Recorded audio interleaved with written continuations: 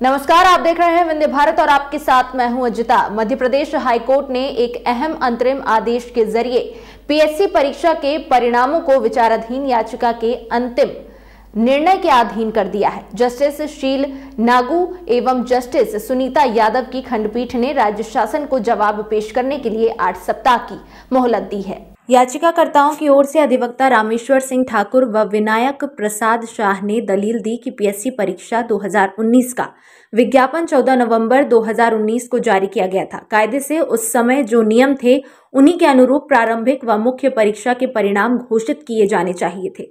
लेकिन ऐसा न करते हुए पीएससी परीक्षा नियमों में 17 फरवरी 2020 को संशोधन करते हुए अनसंवैधानिक नियम लागू कर दिए गए। अन्य संवैधानिक नियमों के खिलाफ याचिका दायर की गई है, जिसके बाद राज्य शासन ने 20 दिसंबर 2021 को पुनः नियमों में संशोधन कर दिया।